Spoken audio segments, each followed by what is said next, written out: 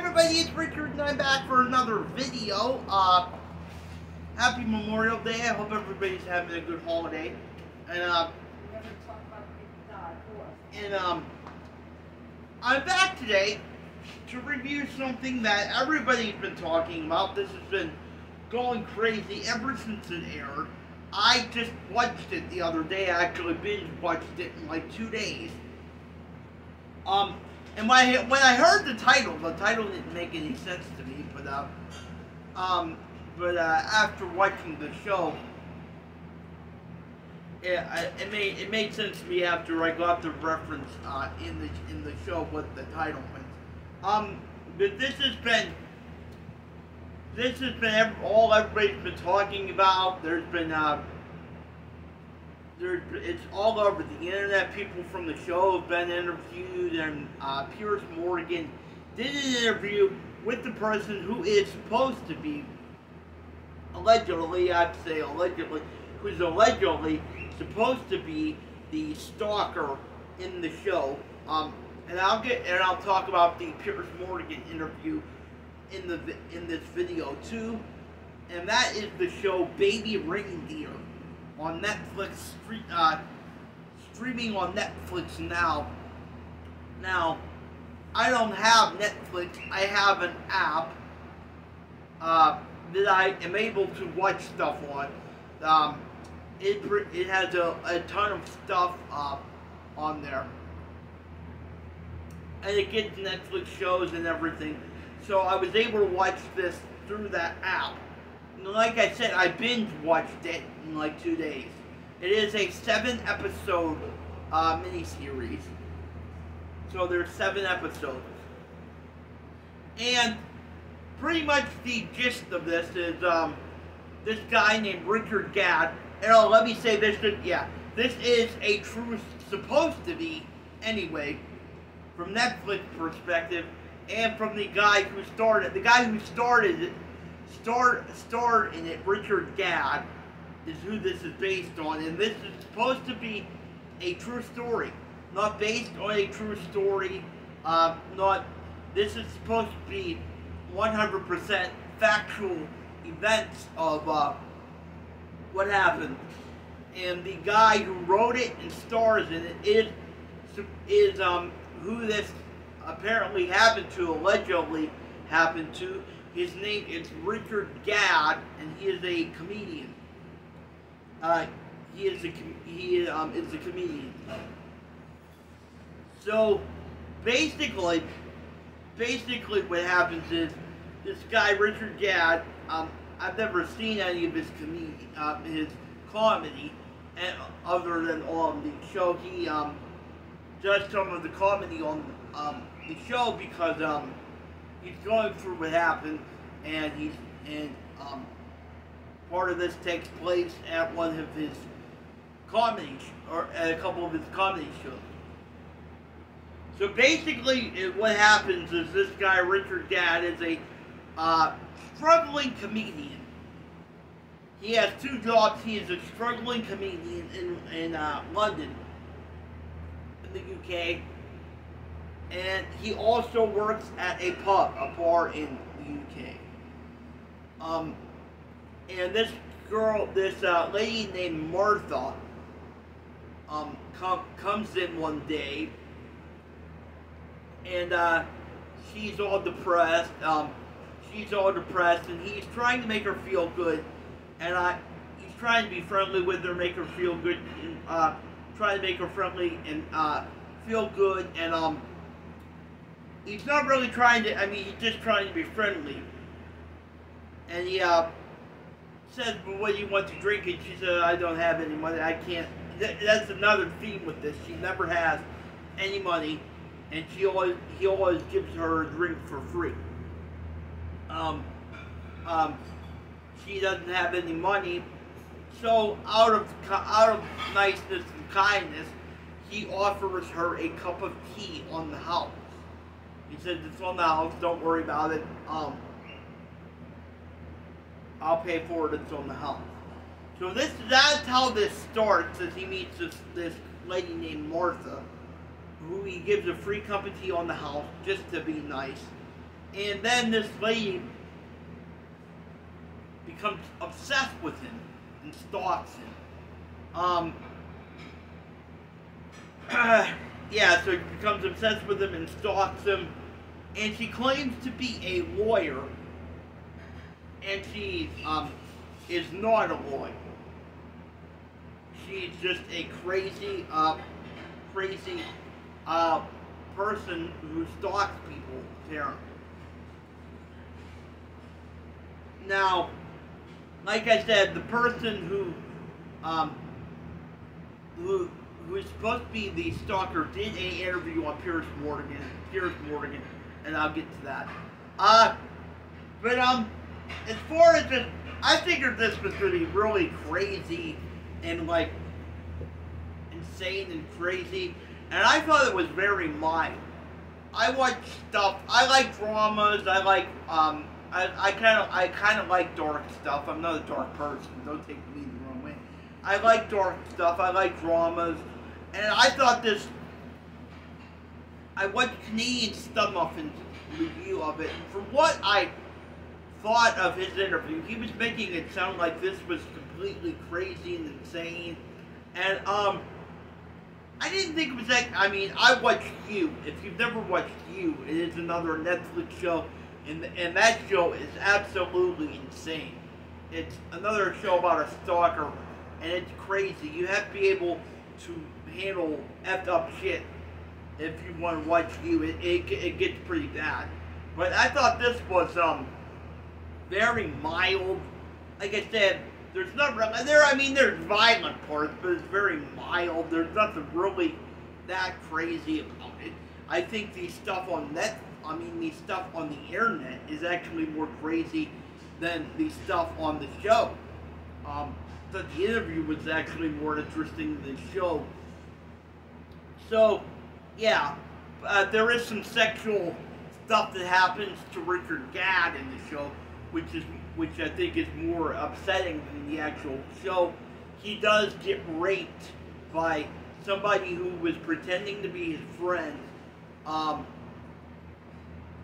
and who was going to help him in comedy with his uh, comedy and maybe help him uh, with writing scripts, maybe get him a, help him get better jobs, and he and that person takes advantage of him and rapes him repeatedly a bunch of times, and um, he, I don't know why he just goes back to him, and eventually he does stop, but he he goes back to him a bunch of times, and keeps getting raped. They keep get they get high.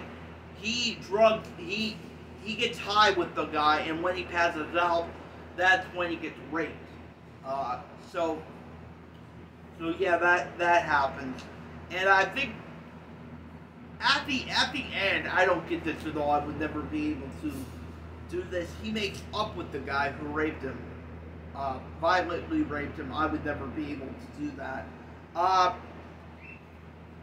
but yeah, so there, yeah, see, the, yeah, so there's all this stuff happening.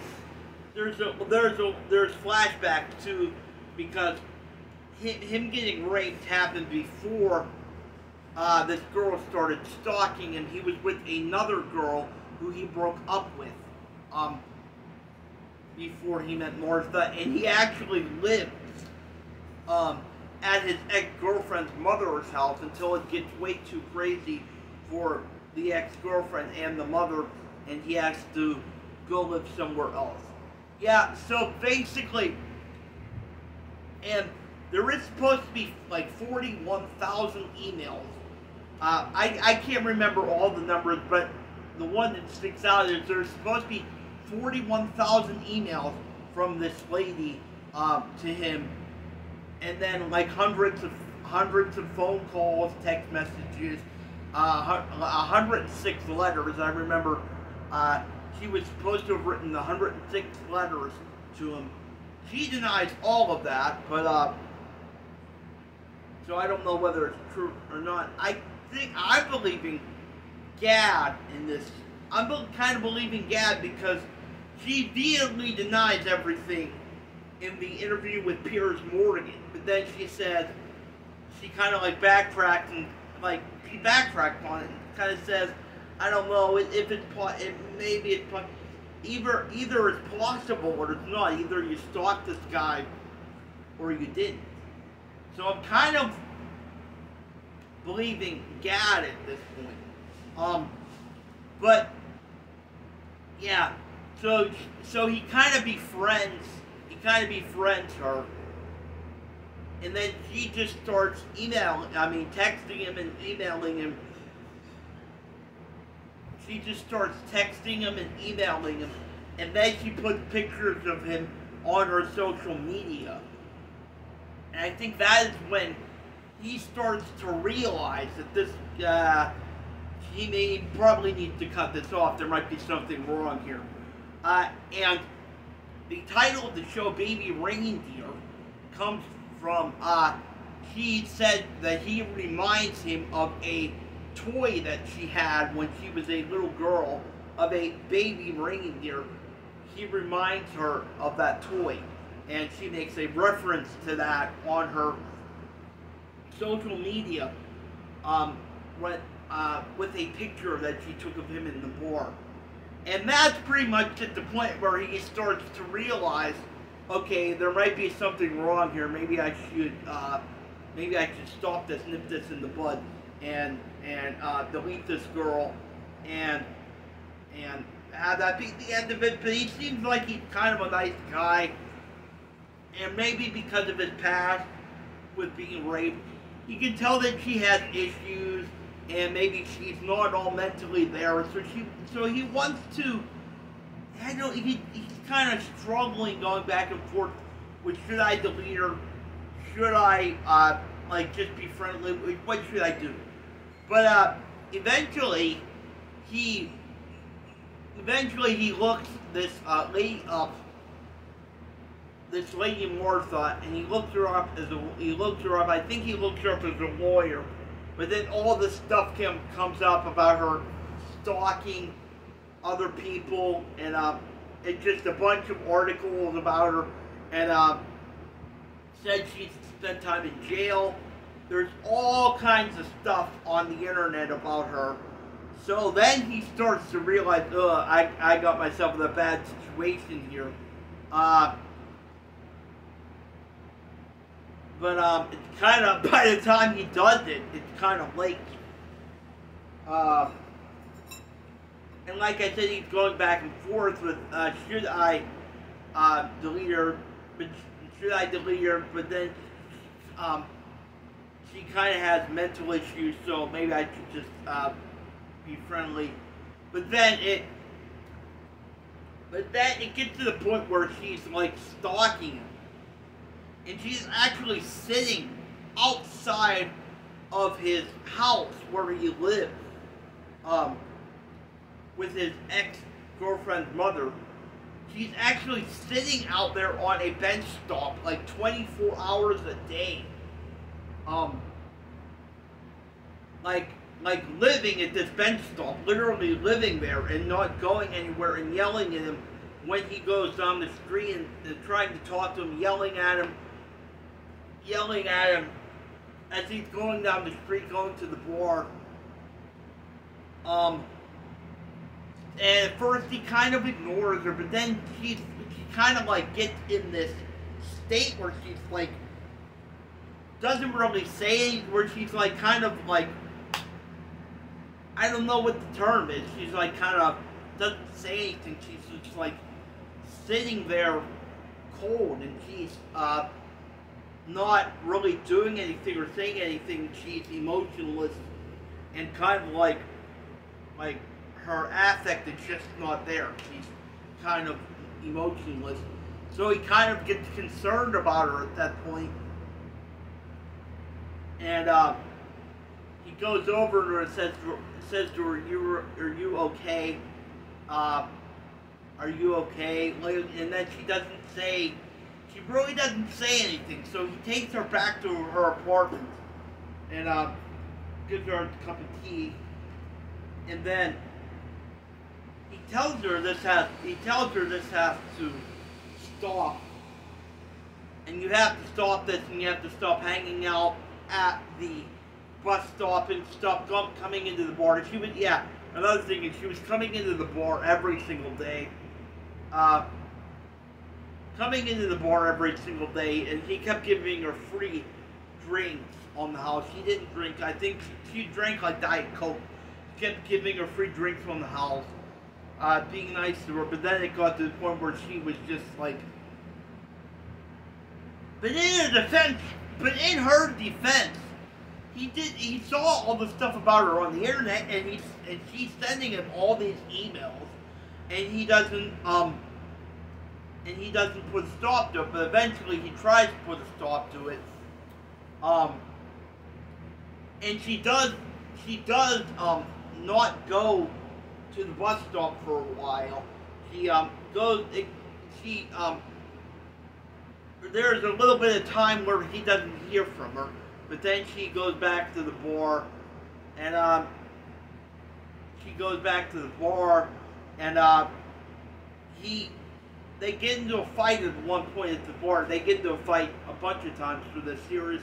At one point, he's with another uh, woman who is a transgender woman, and she beats her up. They're at a bar together, hanging out, and uh, like I said, they're involved, and she beats her up, and um, he has to be pulled back. He pulls her back, and um, and I think, and she beats on him, and it turns into a whole big thing. Um, turns into a whole big thing, and she does uh, beat his girl, his his girlfriend up.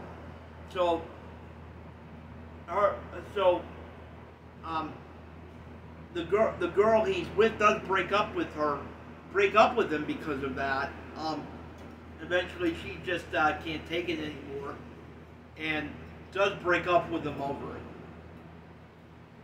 But, like I said, it gets worse and worse and worse, and she's emailing every single day. Thousands and thousands of emails, hundreds and hundreds of text messages, and phone calls.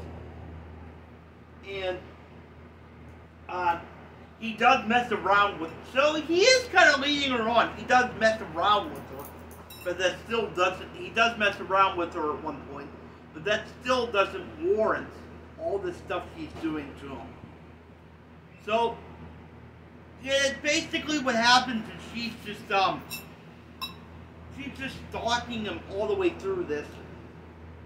And, uh, she just, it gets worse and worse and worse. And then finally, at the end, it does go to trial, and she pleads guilty, and she ends up in jail. That's how it ends.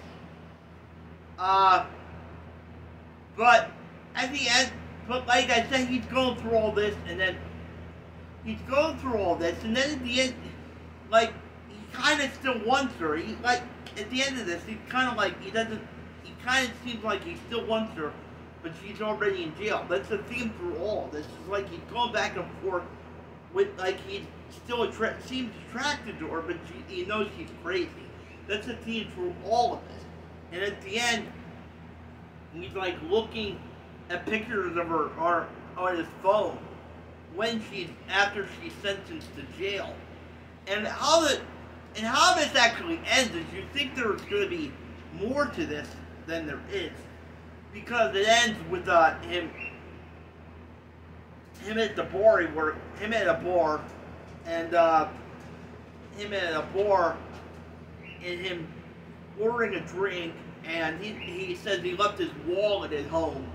And it ends with bartender saying, "Up, you can tell that uh, Richard Gadd is kind of upset." And he says, "Oh, it's on the house. Don't worry about it." So that kind of leads you to believe there's going to be more to this story, and they might make a second part to it. I don't know where it would go, but uh, that's how it ends. So it kind of believes me to believe they're going to make a second part to it. Uh, now, another thing is she heckles him at his um, comedy shows. At one point, when they first meet, she comes to one of his comedy shows and he's struggling on stage. And he, the crowd's kind of like annoyed with him and booing him. But then she starts like talking to him and they, they banter back and forth. And then he becomes funnier and the, the crowd likes him. He, the crowd likes him after that he becomes funnier and he gets an applause and they uh they start to like him. Then the next time she goes to one of his shows, she um, kind of go she kind of goes after him and starts he- well heckling is is not really the correct term for this. She keeps kind of badgering him and uh, coming after him, and he it gets to the point where they're actually he's on stage and she's in the audience and she's fighting with him. Um, and that has to be thrown out of the comedy club. So yeah, that that happens, and then and then at one point, then at then then where this actually turns, he he eventually um, breaks down on stage and talks about being raped, and uh, and then he talks about Martha. So that's where this kind of takes a turn after he breaks down on stage. Um, yeah, but basically it just ends with him, with her going to jail. Um, so that's pretty much the gist of it. I thought it was pretty good, but like I said, I thought it was um very mild. I thought it was going to be a lot darker and a lot crazier. So I'm trying not to leave anything out either. I may forget some stuff, but like I said, this is on Netflix. If you have Netflix and you want to watch it. So yeah, everybody's pretty much talking about this, but then uh, she, um, well, the person who was alleged, and her name is Fiona Harvey, and she is good. She is suing Netflix now, I believe, and Richard Gadd. Uh, she is suing Richard Gadd and Netflix now, I believe. She went on Piers Morgan and denied everything. She denies everything, and I think Piers Morgan kind of believes her, so he kind of uh, goes easy on her. I thought, um, but I kind of found, I kind of thought, I don't know, the way she was going back and forth about it, saying, uh, I didn't do it, but uh, maybe it's possible he had voicemails and messages. Uh, she kept going back and forth and saying, no, I didn't do it, but then she says, oh, maybe there's a possibility that so which one is it? Either you didn't do it or you did. Either you stalked this woman, this guy, and harassed this guy, or you didn't. So I'm kind of I don't know what to believe about her. Um, and she kept saying I don't I didn't. She said she only met him like five or six times and really wasn't that involved with him. And she said she may have emailed him a few times, but there's no way in hell is there 41,000 emails and all these voice messages and all this stuff. She admitted that she did send him a letter one time, but uh, she said one time, and there was supposedly supposed to be 106 letters from her. So she did own up to the one, but she says no more than one. Um, so I'm kind of stuck with her. I don't know she, I'm kind of leading to believe that she did it the way she kept saying, no, I didn't do it. Eh, eh, eh, it's, poss- it's possible. And like I said, I thought Piers Morgan went really easy on her because I think he believed her. And I thought, thought he went really easy on her. I thought it should have been a tougher interview, but I thought he kind of went easy on her. And I'm not a big fan of Piers Morgan at all, but I did want to see this. Um, so yeah, apparently this is this is uh, going to keep going. I think she is suing Richard Gadd and Netflix now, saying that the show is all bogus. None of it happened. It none of it's real. And uh, like I said, she said she met him like five or six times. It did send him one letter, and maybe uh, she she kept saying a handful of emails. I kept wondering what was it, what is a handful, and that's what Piers Morgan did ask her. What's a handful? Like two, or three, ten? What's a handful of email? And she, I think, she said no more than ten. Um, so yeah, I don't know what to make of this lady, Fiona Harvey, who is apparently supposed to be the real life uh, Martha, and and she kept saying this was this is going to prove I'm not the real Martha, that it's somebody else. But then like I said, she kept going back on it and saying, well, may, there may there could be a possibility. And I'm thinking, which one is it? Either you are or you aren't. Are you Martha or aren't you? Either, um, either you are Martha and you're a crazy stalker or you're not. And she did own up to, like I said, the one email, I mean the one letter, and she said um, that she did email them a few times, and there were a couple exchange, exchanges, and um, and also he said that there was this joke in the show about hanging her curtains, and the hanging her curtains was a sexual innuendo for sex, and he said that um, he did make that joke to her, and and uh, she, I guess that they that's how they started messing around, and she said he did make that joke, but he rejected her, but she rejected him and said she has a boyfriend, she's not interested. So, uh, yeah, this is, yeah, so this is, I find the stuff on YouTube way more interesting than the actual show. Like I said, it was good, but I thought it could have, I thought it was going to be way darker, way darker and uh, ser more serious than it was. I thought the stuff on YouTube was way more entertaining. Um, oh, she did take credit for the baby reindeer thing. She did say tell him that he reminded him, he, he reminded her of a toy reindeer that she had when she was a little kid that was a baby reindeer. She did take credit for that, the name of the series, and and uh, sending him a letter one time, and and texting him and, and messaging and tweeting a few tweets. But other than that, she says this is all bogus and it's made up and she's a victim here.